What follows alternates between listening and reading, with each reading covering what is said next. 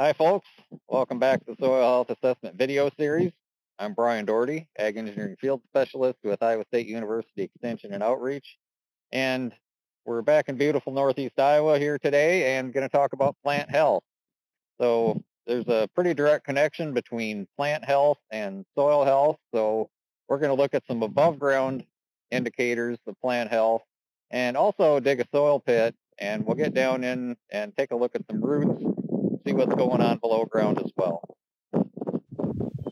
So before we get down in the soil pit, I just wanted to give you an overview of the spot I'm in here. So it's July 17th. I'm out in a cornfield, and so you're probably wondering why this corn is this short. So this was actually a field that had uh, first crop alfalfa harvested, and then corn was no-tilled into that. So this was planted quite late, sometime early June. So not a lot of growth here yet, but you can clearly see in the row just on the left here, definitely a height difference between the one on the right. And so first thing I think of when I see that is probably a compaction issue, but there could be other things going on there as well. So we're gonna get down in a small soil pit that I dug here and take a look at these two different rows and see what we can see going on down in the soil pit. So here's our soil pit. Um, I just dug this one by hand. It's, you know, about 18 inches deep. Ideally, if you're going to do a, you know, a, a true soil pit, you want to get down, you know, three to five feet, you know, or even deeper in some cases. You know, you want to have a backhoe to dig that. But uh, pro tip number one, don't dig these by hand when it's 95 degrees. So we're going to get down in here and take a look at some roots and see what else we can see down in this soil pit. I'm going to start here on the left. So this is the row of corn that was noticeably shorter and more stunted.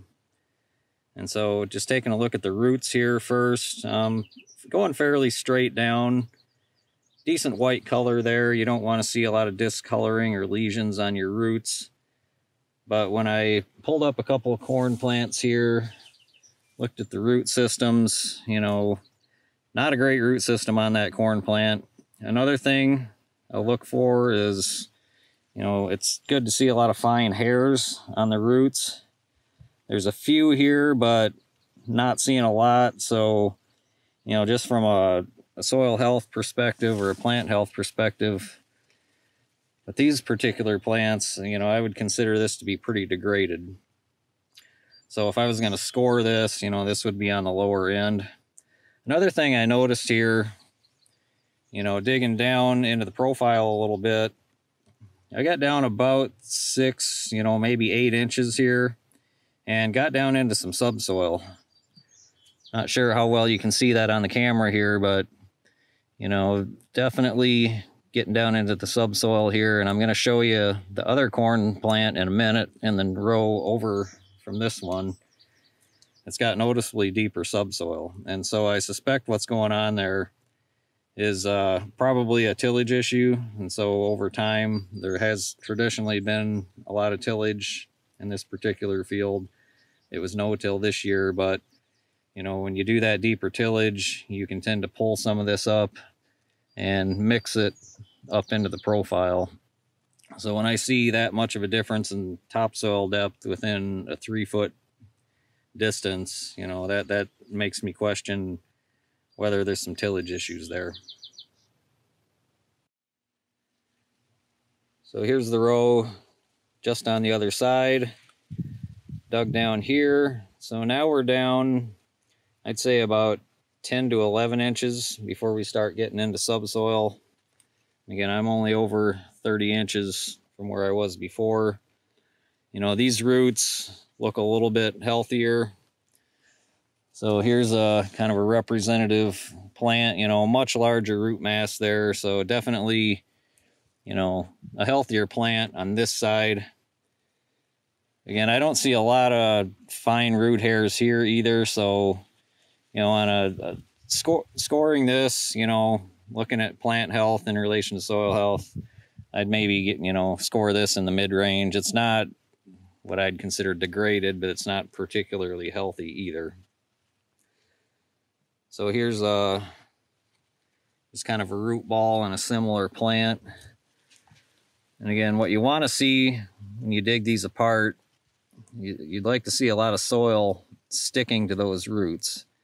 So as they uh, leak root exudates down into the soil, you know, in the rhizosphere, that should help stick some soil to those roots. And I see a little bit of that there. I see some more fine roots here. So this plant, definitely a little bit healthier than the one we just looked at a minute ago, but still, you know, I'd consider this in the mid-range, not terribly healthy.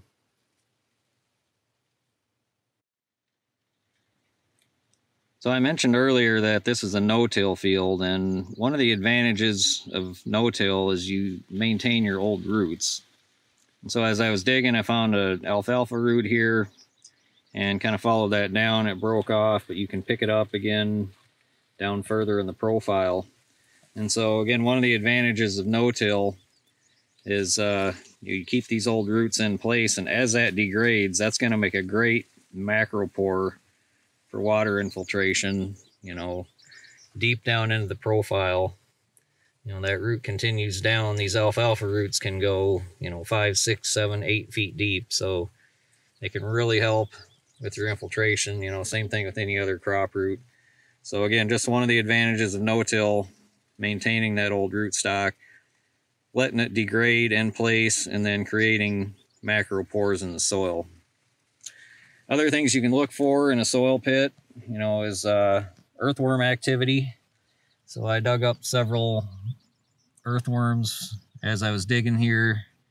You know, you can see a earthworm channel there, another one there. And so that's something else you can look at, you know, in addition to just what's going on with your crop roots. So that's it for this video on plant and root health. Um, I encourage you to go out and dig some soil pits, take a look at your own soil, see what's going on. So thanks for joining in and stay tuned for the next video in the series where we'll take a more in-depth look at soil biology.